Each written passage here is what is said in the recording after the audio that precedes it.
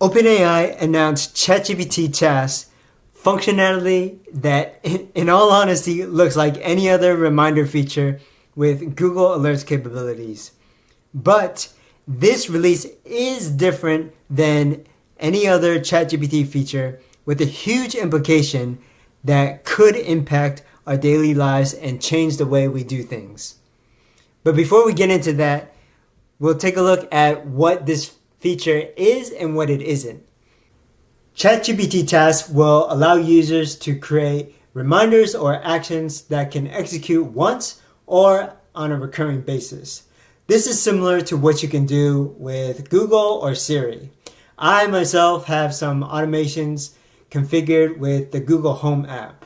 That includes audible notifications that let me know what my tasks are for the day, along with reminders to grab some water, get up and move around at various points throughout the day.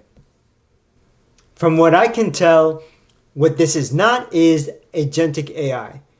Nowhere in this article have I seen this term mentioned, nor in any of the announcements from OpenAI. However, I've seen folks try to label it as such. They're just living on the hype train or they want views for themselves. It's not going to look at your calendar for open dates and search for flights to provide you with a couple different options. It'll happen one day, but I don't think that day is today. However, it will look up things like news topics or stock prices. You'll be able to prompt ChatGPT with what you want, and it'll help you set up the reminder or the action so you can provide the instructions here and set up the schedule. These are some other examples of tasks that you can create. You can create a reminder to practice a language and include a lesson plan based on the learning goals that you provide. And this is along the lines of what users are expecting.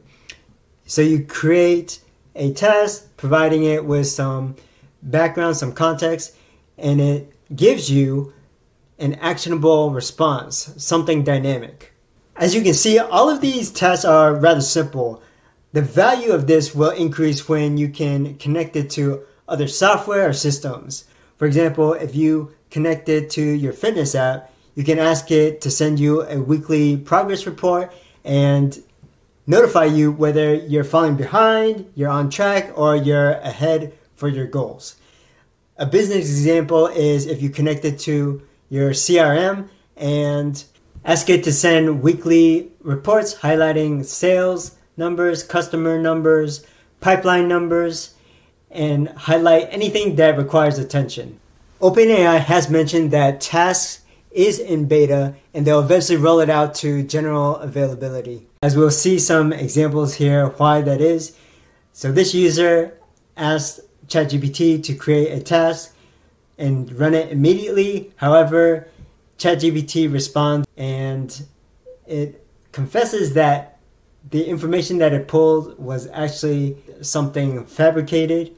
In this example, ChatGPT emails the user regarding this task update, but you have to click on the call to action and view the update in ChatGPT.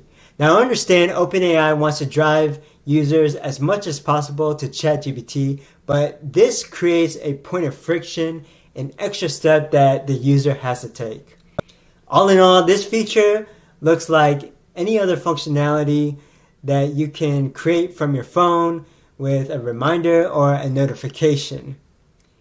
But the one huge implication that isn't receiving as much attention, if at all, is that this signals OpenAI's intention to increase its presence in our daily lives, just as Google has entrenched itself in our routines and habits with apps like Gmail, Google Maps, Calendar, Google Drive, Photos, and all these other apps. ChatGPT doesn't want to be something we just pull off the shelf when we want answers, but OpenAI wants users to truly depend on it, like how we use our phones.